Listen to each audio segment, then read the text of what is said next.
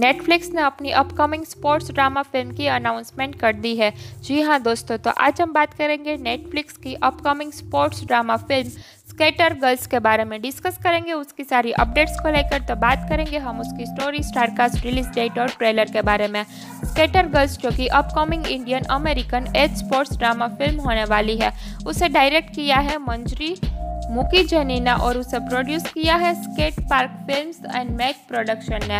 आगे हम बात करेंगे उसकी स्टोरी की। फ़िल्म राजस्थान भारत में एक किशोर आदिवासी लड़की की कहानी बताती है, जो एक तीस के बाद स्केट बोर्डिंग की खोज करती है। ब्रिटिश भारतीय लड़की एक गाँव में स्केट बोर्डिंग का परिचय देती है। स्केटर गर्ल आत्मविश्वास, साहस और अपनी राह पर आगे बढ़ने के गहरे प्रभाव के बारे में आने वाली उम्र की कहानी है।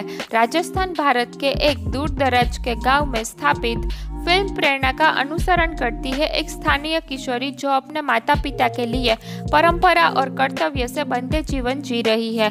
लेकिन जब लंदन में रहने वाली विज्ञापन कार्यकारी जेसिका अपने दिवंगत पिता के बचपन के बारे में अधिक जानने के लिए गाँव आती है तो प्रेरणा और अन्य स्थानीय बच्चों को जेसिका और उसके पुराने दोस्त की बदौलत एक रोमांचक नए रोमांच से परिचय कराया जाता है।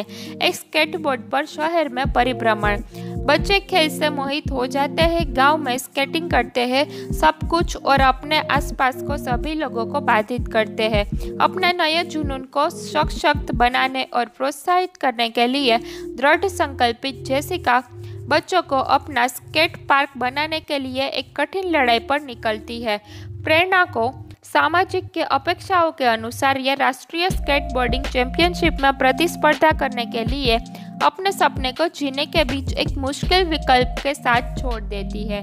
आगे हम बात करेंगे उसकी स्टार कास्ट की। तो दोस्तों, ये मल्टी स्टारर होने वाली है। इसमें रचल, संचिता गुप्ता, जो कि प्रेरणा का रोल करती दिखेंगी, श्रद्धा गायकवाड़ हमें, गुंजन का रोल करती दिखेंगी, अमृत मेघेरा हमें, जैसिका का रोल करती दिखेंगी वहीदा रहमान हमें महारानी का रोल करती दिखेंगी, शाफिन पटेल हमें अंकुश का रोल करते दिखेंगे, अनुराग अरोरा हमें महेश का रोल करते दिखेंगे, स्वाति दास हमें शांति का रोल करती दिखेंगी, अंकित राव हमें विक्रम का रोल करते दिखेंगे। आगे हम बात करेंगे इसकी रिलीज़ डेट की। तो दोस्तों, ये हमें 11 जून को O T T platform Netflix पे देखने को मिल जाएगा। तो फ्रेंड्स ऐसे ही वीडियो देखने के लिए अगर आपने मेरी चैनल को सब्सक्राइब नहीं किया है तो कर दीजिए ताकि मुझे ऐसे ही वीडियो बनाने के लिए मोटिवेशन मिलता रहे। Please like share and subscribe my channel press the bell icon for more updates मिलते हैं अगले वीडियो में। तब तक के लिए टेक केयर बाय